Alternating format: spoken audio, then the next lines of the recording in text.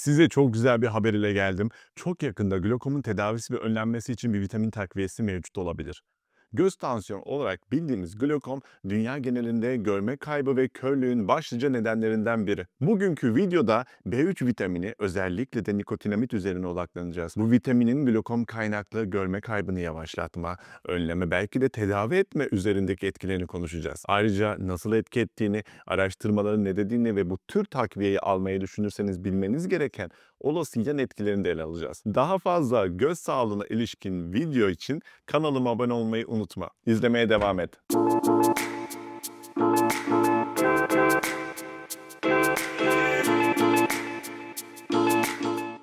B3 vitamini niyasin olarak da bilinir ve vücut genellikle triptofan adı verilen bir amino asidi parçalayıp dönüştürerek üretir. Triptofan genellikle tavuk, balık, süt ürünleri ve yulaf ezmesi gibi bazı tam tahıllarda bulunur. Ancak biyokimyasal olarak hücrelerimiz bunu nikotinamide dönüştürür. Ve daha sonra nikotinamit adenin nükleotit olarak bilinen bir maddeye çevrilir ve bu madde hücrelerin mitokondrilerinde enerji üretiminde büyük bir rol oynar. Hücrelerin hayatta kalması üzerine önemli bir etkisi olduğu araştırmalarla da ortaya konmuştur. Glokom, gözün arkasındaki optik sinirin zamanla yavaşça ölmesine neden olan bir durumdur. Çok sinsidir. Genellikle zaten toplumda sinsi bir hastalık olarak bilinir. Çünkü belirti vermez.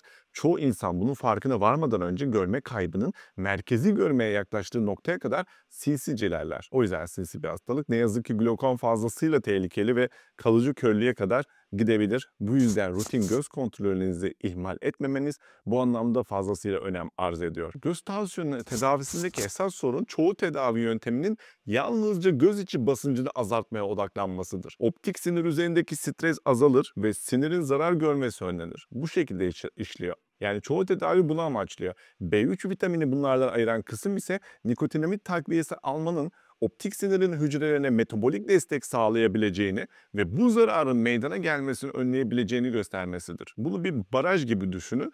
E, bu barajı korumak için içindeki su miktarını azaltabiliriz ya da barajın yapısını güçlendirecek şekilde daha fazla destek sağlayabiliriz. Yani göz içi basıncını azaltmak, suyu azaltmaya, nikotinamit takviyesi ise baraja yapısal destek sağlamaya benzetilebilir. İlk olarak bu konu 2017 yılında Science dergisinde yayınlanan bir çalışmadan sonra ilgi çekmeye etmeye başladı. Bu çalışmada nikotinamit takviyesi verilen farelerin glokom geliştirme riskinin %93 oranında azaldığı tespit edildi. 2019 yılında yapılan küçük bir glokom hasta grubunu içeren çalışmada ise beslenme eksiklikleri değerlendirildi ve glokom gelişimiyle nikotinamit eksiklikleri arasında güçlü bir ilişki olduğu tespit edildi. 2020 yılında glokom teşhisi konmuş ve tedavi gören hastalar üzerine bir çalışma yapıldı. Bu çalışmada hastalar iki gruba ayrıldı. Bir grup plasebo aldı, diğer grup ise günlük 500 mg nikotinamit takviyesi aldı ve bu süreç 6 hafta sürdü. Daha sonra sonra dozaj 3 mg, 3000 mg olacak şekilde arttırıldı ve bu şekilde 12 hafta daha devam edildi. Ardından plasebo ve tedavi grupları yer değiştirdi. Sonuçlara bakıldığında ise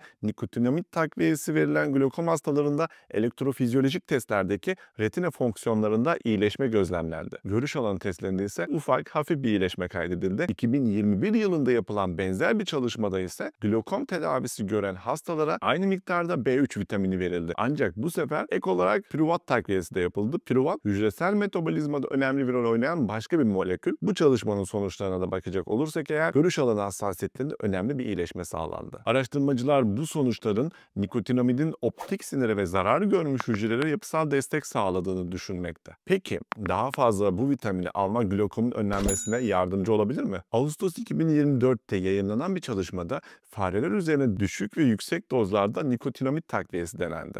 İlk olarak takviye verilen farelerde ileri göz içi basıncının yükselmesine karşı daha koruyucu bir etki gözlemlendi. Ancak glokom nedeniyle optik sinir hasarı geliştikten sonra takviye alan farelerde sadece yüksek doz nikotinamit anlamlı bir fayda sağladı. Bu yapılan çalışma ile B3 vitamin takviyesinin göz içi basıncı yükselmeden önce koruyucu bir rol oynayabileceği düşünülebilir. Ancak bu çalışmalar tabii fareler üzerinde yapıldı ve doktorlar ya da tıp camiası nikotinamidi glokomun tedavisi veya önlenmesi için reçete etmesi için daha fazla standartlaştırılmış insan klinik çalışmaları gerekmekte. Daha fazla bu takviyeyi almak tabii ki de her zaman daha iyi olacağı anlamına gelmiyor. B3 vitamin takviyesi alan kişilerde ciltte kızarma, mide bağırsak rahatsızlıkları, nadiren düşük tansiyon, insülin direnci hatta retina ödemi gibi yan etkiler gözlenebilir. Bu yan etkiler tabii ki nadirdir ancak yine de bu tarz takviye edici gıda bile olsa doktorunuza danışmadan bu tür ürünleri kullanmayın. Evet umarım bu videonun senin için faydalı olmuştur. Bu konuyla alakalı başka videoların gelmesini istiyorsan bunu yorumda belirtebilirsin. İzlediğin için teşekkür ediyorum. Bir sonraki videoda görüşmek üzere. Hoşçakal.